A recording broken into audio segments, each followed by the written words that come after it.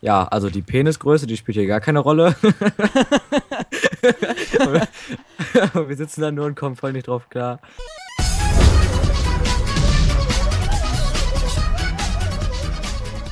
Hallo und herzlich willkommen bei Felix HD Games zurück bei Let's Play Minecraft. Äh, ich bin mal wieder nicht allein. Ich habe nämlich hier äh, eine andere Let's Player Begleitung, nämlich den Gulu-Fan in der Konfi. Heyo. Und ähm, ja, eine, Let's äh, eine Minecraft-Folge ist mal wieder überflüssig, äh, überflüssig, hatte ich gerade eben auch schon gesagt, überfällig, weil äh, ja, bei dem, seit dem Star Wars Adventure ist ja keine Folge mehr rausgekommen. Und ähm, ja, wird halt jetzt mittlerweile mal Zeit. Und ich weiß schon gar nicht mehr, was ich das letzte Mal in der Folge gemacht habe. So lange ist das jetzt schon her. Ich nehme mir einfach mal die Kakaobohnen mit. Und Chris, was kannst du uns heute so Nettes erzählen? Ich habe einen Großmembraner. Genau, er hat jetzt einen großen Membran. Er hat jetzt dasselbe Mikro wie ich. Und jetzt hört er sich, äh, hört er sich besser an. Jetzt hat er ein schönes professionelles äh, Mikro. Und Ja. äh, ja, Was auch relativ lustig bei mir auf dem Schreibtisch steht. so eine Teufelskonstruktion, ne? Ja. Ich guck mal, ob ich hier in die Mine gehen kann. Chris, du entscheidest jetzt, äh, soll ich, äh, soll ich in die Mine gehen und eine Monsterfalle bauen? Weil ich habe in der letzten Folge einen Spawner gefunden. Oder was soll ich tun? Äh, was hast du noch so zur Auswahl? Äh, ich weiß gar nicht. Hast du irgendeine Idee, was ich machen könnte?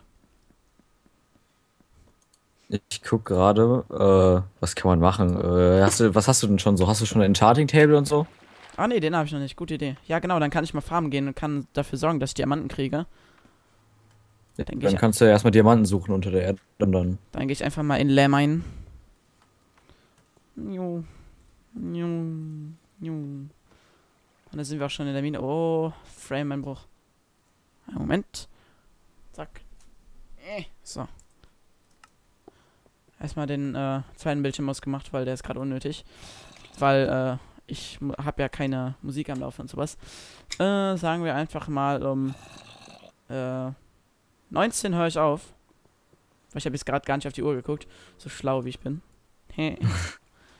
und äh, gut, jetzt muss ich noch wissen, wie ich jetzt hier meinen Abstieg in der Mine mache. Ich glaube, ich mache das einfach mal mit Wasser. Ganz spartanisch. Äh, Sparta! Sparta, das ist Sparta. das ist Sparta. Nehme ich mal ganz, ganz fix den Cobblestone mit. Ich muss nur dafür sorgen, dass ich hier jetzt nicht runterfalle und mich auf die Nase lege. Das wäre nämlich nicht so, so besonders klug. Eh. Give me that.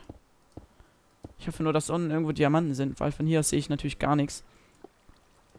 Mach ich mir mal hier so eine, so eine Art Sicher so eine Art Sicherheitsschutz rum. Und die Lava, die ich hier habe, die werde ich mir erstmal. Uh, leck. Die werde ich mir erstmal vorerst hier in, meinen, in so einen kleinen Schlitz reintun. Hey, er hat Schlitz gesagt. Und. Äh, Schlitz! Schlitz! so, und dann versuche ich einfach mal hier rüber zu kommen. So. Like a Baus. Und das kommt dann hier rein. Äh, so, gut. Jetzt brauche ich äh, mehr Wasser. Oh, da unten ist Lapis, cool. Ich gehe mal hier runter. Lapis ist so unnötig. Mm, Das braucht man ja nur für Wolle und ich meine jetzt, ich glaube nicht, dass du höchstens für einen Regenbogen, aber sonst wüsste ich jetzt nicht, warum du blaue Wolle brauchst. you only need Lapis if you have swag. Ich finde das ein bisschen unnötig, dass man das nur unter der Erde findet. Ja.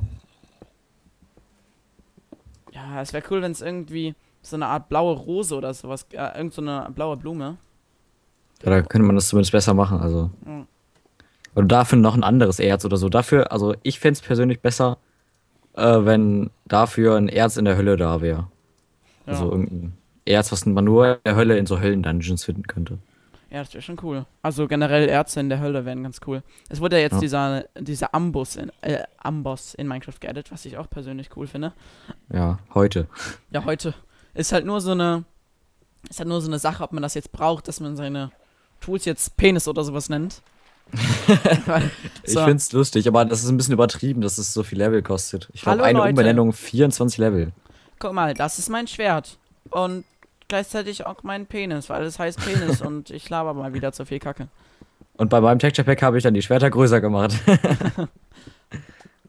Größer. Hm. ja, ja, deswegen ja. Genau, genau deswegen, ne? Ihr wisst schon. Ja, ja, deswegen. die, ja, die, äl- die älteren Zuschauer wissen jetzt genau, war, äh, wa- wa- warum, ne? die Älteren. Die älteren. Die Kleinen dürfen jetzt nicht verstehen, warum länger besser ist, aber Hauptsache die Technik stimmt, ne? Ja. Boah, ey, ich hatte auch, wenn wir gerade bei dem Thema sind, irgendwann mal in Bio mussten wir irgendeinen so einen Film schauen, ne? Okay. Ja, also nichts Schlimmes eigentlich, weil das machen die im Unterricht nicht wirklich. Und dann war da so ein Junge und der meinte dann, stand, stand da vor der Kamera und ich habe mir nur gefragt, wie viel haben die dem ge gegeben, damit er das redet. Weil dann stand er so vor die Kamera und meinte so, ja, also die Penisgröße, die spielt hier gar keine Rolle. und wir sitzen da nur und kommen voll nicht drauf klar. So beim ersten Date, so, ja, die Penisgröße. Ja, das, wir haben uns mir so gedacht, hä, wie viel muss der Sender dem gegeben haben, damit ihr das, damit ihr das sagt, weißt du, das wäre ist ja voll dumm. Dann haben die die ganze Zeit nur so eine Scheiße gelabert, ey. Ja, und dann waren dann, das hat mich so an Oliver erinnert mit dem Gruppenduschen, weil, äh, Ich lass mal. so, Leute, ich lasse da mal extra die Seife fallen.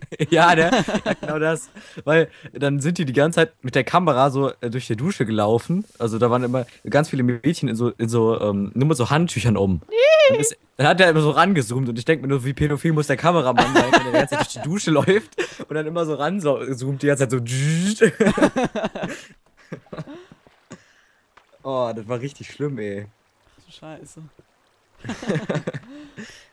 Ja, Schule ist schon Bullshit. Oh Gott, ey. Und da sagt man noch, man lernt was in der Schule, ey. Da verblödest du teilweise, ey. Ja, dann, dann kommen da nur so Assis raus, die dann meinen, "Hä, die Penisgröße spielt gar keine Rolle. Ja, genau. Da Ja. weiß man, da weiß man direkt alles über ihn Bescheid. ja. Also, das muss er echt schon mal schaffen, so weit, so jemanden vor die Kamera zu kriegen, ey. so Schwellern, Penisgröße, nix. Ah. Nein, wir, wir sollen ja hier nicht äh, rassistisch werden, sonst kommen noch Leute und sagen, hey, was hast du gegen meinen Bruder Ali? Gegen meinen Bruder Ali. Klopf, klopf.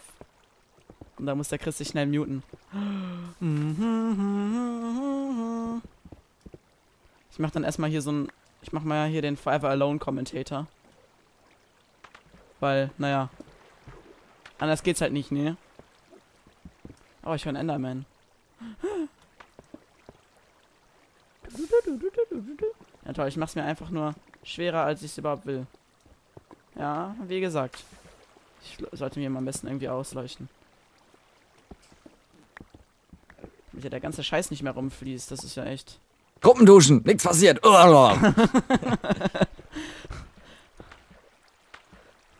habe gerade, ich habe gerade den, ich habe den Forever Alone Commentator gemacht.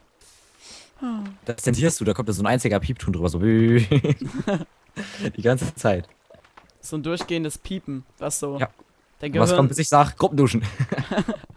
das hat mich jetzt gerade voll erschreckt. Ich war so, ich war so, ich war so voll, äh, voll Bin nicht gekehrt. in mich ge Das hört sich so falsch an. Äh, ich war voll in mich gekehrt, sagen wir es jetzt einfach mal so. Und, ähm, und sagst du, komm, jetzt mach mir hier das Wasser weg. Und dann kommt auf einmal Gruppenduschen. ah ja, herrlich.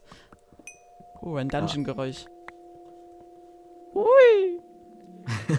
Das ist Hero Brian, er will dich holen. Nein. Doch. Mami! Mama! Also ich finde das auch irgendwie komisch, dass äh, Hero Brian überhaupt sozusagen da ist, also dass Leute sich den überhaupt irgendwie ausgedacht haben oder so, keine Ahnung. Ja, dabei stimmt, der gibt's den ja. Gab's den nie und den gibt's auch nicht. Ja, das verstehe ich nicht. Irgendwie, dass, dass, äh, die, weil, äh, das kommt ja nicht von alleine. Ich meine, irgendwer muss den ja da wohl voll abgespackt haben in seinem Gehirn und den dann irgendwie in Minecraft gesehen haben Ja, oder was. irgendeiner hat sich den ausgedacht und hat das wohl durch einen Mod oder hat einfach, hat es einfach gefotoshoppt oder hat einfach im Multiplayer jemanden gesehen und hat dem dann weiße Augen gemacht oder was weiß ich. Und, äh, und sobald ich das mal in einem, in, in so einem Video gesehen habe, es hätte den wohl nie gegeben und irgendwie, es wurde wohl ein Minecraft-Post veröffentlicht und angeblich hätte dann denjenigen, hätte denjenigen dann ein gewisser Herobrine angeschrieben, hätte dann ges geschrieben, Stopp. Total die Kacke. Und, Hey, äh, was für ein Stopp. ja, er hatte wohl diesen Minecraft-Post äh, veröffentlicht oder sowas. Und Hero Brian, also der, ein Account Hero Brian hätte ihm wohl geschrieben, stopp. Kann ja gut sein, wenn irgend so ein Typ so bescheuert im Kopf ist. Und, ähm, und dann haben alle sich so haben alle gedacht, oh mein Gott, das muss Herobrine sein, bla bla bla. Und dann hat irgendeiner dann behauptet, Notch hätte wohl einen toten Bruder und so. Und irgendwann hat Notch dann getwittert vor einem halben Jahr oder sowas, dass der nie einen Bruder gehabt hatte oder der hatte irgendwie nur eine Schwester oder sowas. Okay. Soweit ich weiß. Aber das ist einfach total bescheuert, dass man dann auch so eine Kacke behauptet, die dann im Endeffekt gar nicht stimmt und setzt dann da irgendwelche äh, Gerüchte in die Welt. Das ist äh, Ja, ich finde es okay, dass daraus jetzt ein paar Mods entstanden sind, die ja richtig lustig, äh, relativ lustig sind. Mhm. Aber äh, äh, ansonsten, naja, ist das schon ein bisschen komisch. Und da gab es da so viele Fakes, wie man den angeblich beschwören könnte und so eine Kacke. Ja. Und das ja. stimmt ja dann noch nicht mal. Also. Für diejenigen, die immer noch glauben, es würde Herobrine geben, dann. Naja. Falls ich hier auch totalen Humbug laber oder so, könnt ihr es ja mal in die Kommentare schreiben, falls ihr irgendwann, irgendwann mal den wirklich gesehen habt und ich hier einfach nur Kacke laber oder einfach nur das YouTube-Video, was ich da gesehen habe, falsch verstanden habt. Ihr könnt, ihr wisst bestimmt sowieso wie immer mehr. ich bin, also ich, wieder so ein Aslack und meint, ich habe Hero rein gesehen. Ja, genau. Ich bin ja immer der Dumme, ihr habt immer alle recht. Das war ja auch Ja, nie das anders. ist immer so in der YouTube-Szene. Ja. Das war nie anders.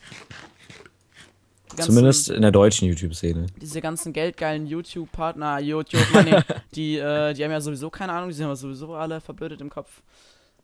Äh, ja, Sam Desu, äh, und ja. Ich weiß gar nicht so Ja, der genau. macht ja sozusagen mit, der macht ja äh, Mit Scheiße heutzutage sogar schon mit Facebook Geld, soweit ich weiß. Was? Wie das denn? Ja, der, der hat ja mal irgendwann behauptet, der hat mal irgendwann behauptet, habe ich mal von jemand anderem gehört, dass er dann mit Facebook Geld machen würde oder so. Und wie das? Kein Plan. so viele Leute gehen auf Facebook, deswegen ihm weiß ich nicht, ich weiß null, null Ahnung. Man kann auf Facebook so äh, Werbeanzeigen starten. Vielleicht hat er ja mal eine über seinen Kanal gemacht. Und deswegen hat er dadurch ja dann eigentlich im Endeffekt ja Geld gemacht. Kann man sagen. Ja. Ich gehe jetzt nochmal schnell. Facebook-Partner. Ich bin, ich bin er so zweiten Banner. Facebook-Partner. Ja, genau. So ein, zweiten, so ein Doppelbanner. Oder an der Seite wäre auch eine ganz geile Idee. Jo, genau so. So ein Seitenbanner. Lol. Okay, die Farm lasse ich einfach mal wachsen bis zur nächsten Folge. Ich stelle mich dann mal wieder hier gediegen in meiner kleinen Ecke. Und ich verabschiede mich dann bis zum nächsten Mal. Zuletzt mit Minecraft. Ich sag einfach, ich lasse einfach mal den Chris nochmal Tschüss sagen. Tschö. Und wir sehen uns beim nächsten Mal. Haut rein. This is it.